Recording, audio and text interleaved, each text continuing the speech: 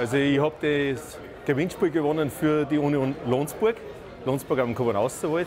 Wir haben fünf Mannschaften dort und ich war früher dort einmal aktiver Spieler und ich habe das irgendwann im Jänner äh, des heutigen Jahres gewonnen und wir sind heute 20 Leute und wir freuen uns riesig auf das Topspiel Lars gegen Ried.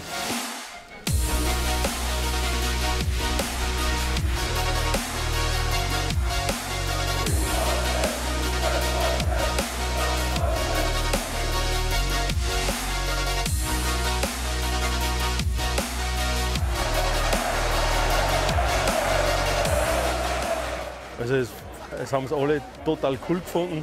Es war echt eine klasse Stimmung drin bei uns, auch in unserem Sektor, in unserem äh, Bereich, wo wir gesessen sind. Und ja, es ist halt 1-1 ausgegangen, aber man muss zufrieden sein.